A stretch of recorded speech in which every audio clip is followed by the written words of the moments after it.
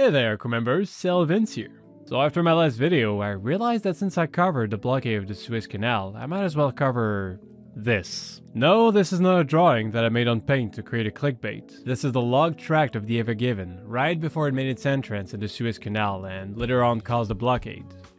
It sure has a very interesting shape. It looks like a spiritual pattern from Zen gardening.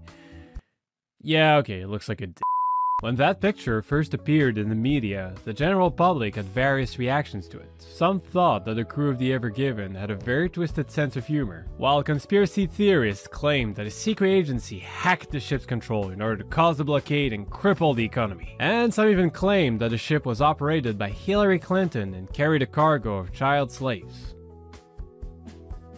What?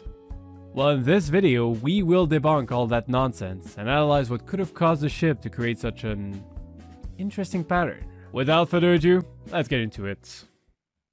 First, let's start with a bit of context.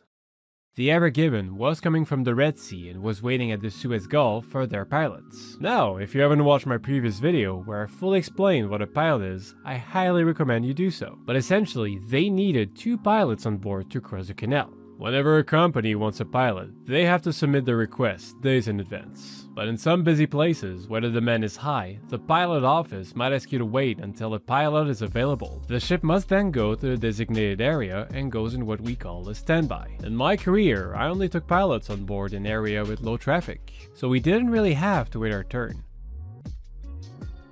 Once we got near the sector, they simply asked us to keep a low speed to allow the pilot ship to come alongside.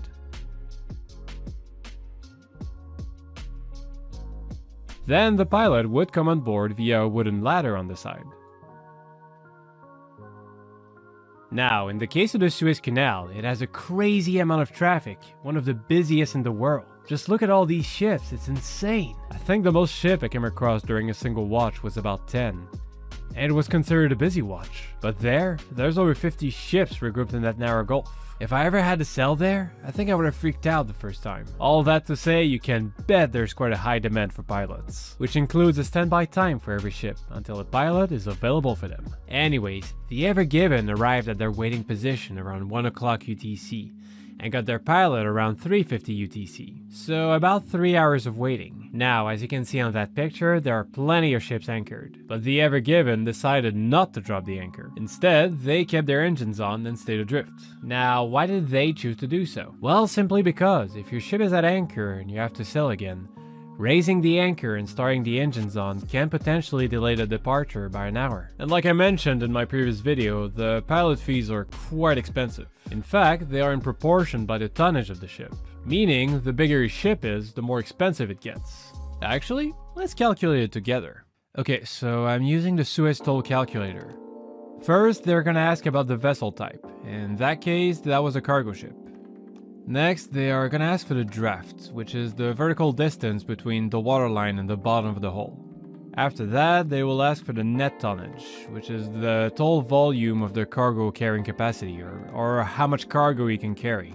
And then there's the gross tonnage, uh, which is the volume of all the capacities of the ship, so um, more focused on the general structure. So check this out $760 for a regular pilot and 1,800 for extra pilotage. That's a total of $2,560, and I think that's for every hour they have them on board. If I'm wrong, let me know in the comment section below. But in any case, they probably kept their engines running in order to save time and therefore money. Just as a side note, the whole passage fees would have been over $420,000. That's insane. Now, I would like to address the conspiracy theory. Well, the most popular one, let's say. That the Ever Given got hacked and that someone took control of the ship to draw, um, to leave his signature before blocking the canal. We got a problem. What?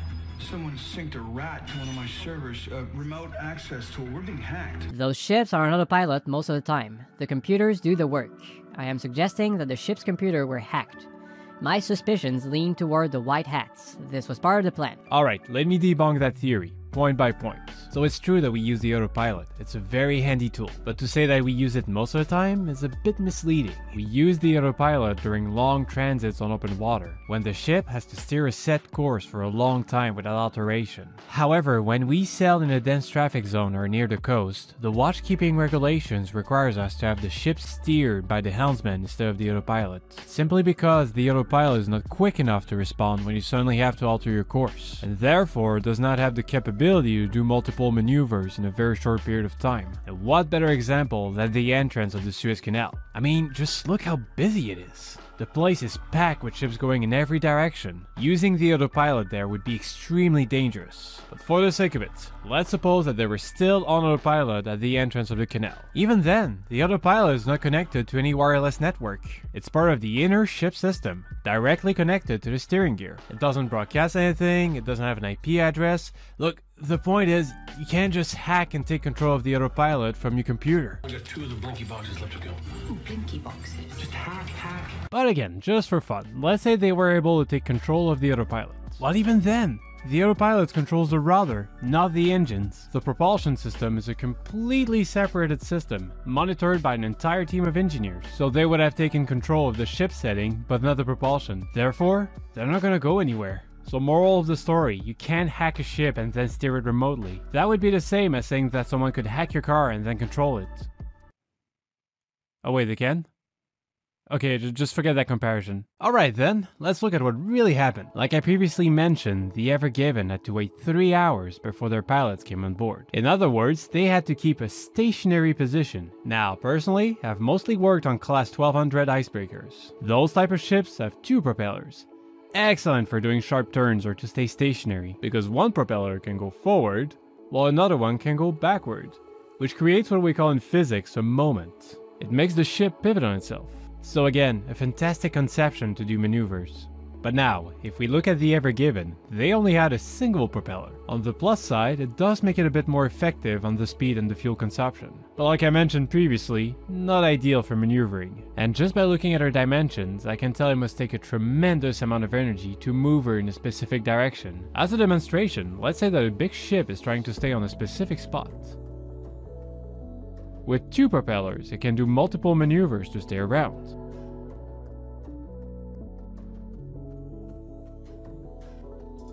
But with only one propeller, it would have to do fewer and more direct maneuvers. Which would make it look like the ship is gravitating around. Okay, now let's analyze the simulation by Vessel Finder. Let's begin.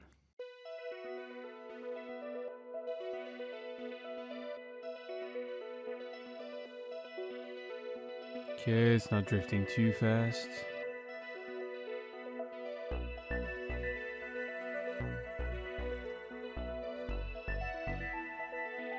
Okay, that tells me the center of their perimeter was probably around this point.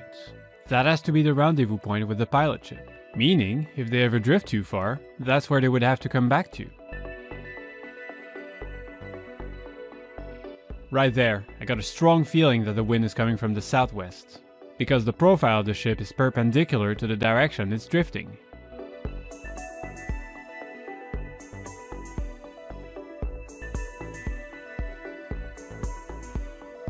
Okay. So now they're going back to their rendezvous point.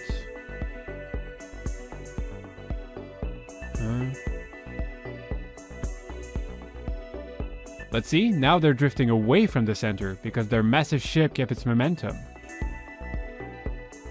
Once again, they have to come back.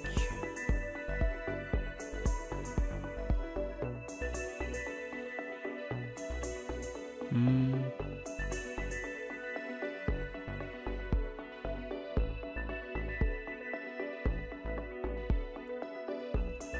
Okay, now see at this point they're doing something a bit weird. They're kind of doing circle motions back and forth, but I think the intent behind it was to give enough space to the Al Nasriya to pass while keeping a safe speed. And then they went back to their rendezvous points.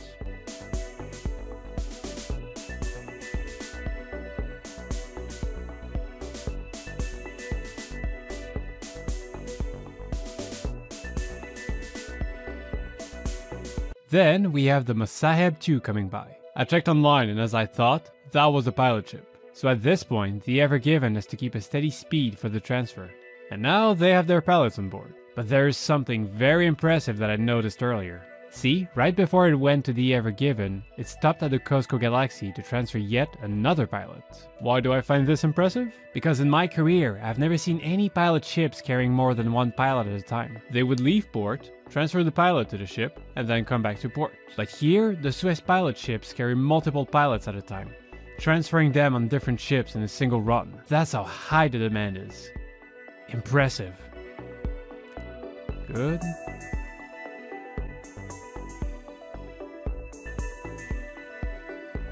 Alright, and now the Ever Given is on its way to the canal.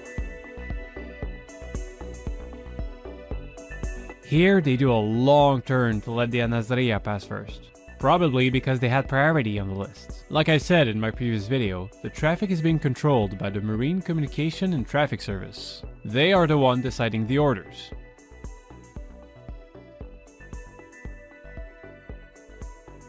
and there it has done a very long turn to give sufficient time to the Al Nazariya to go ahead. That way, they wouldn't be too close to one another in the canal, they would have a safe distance.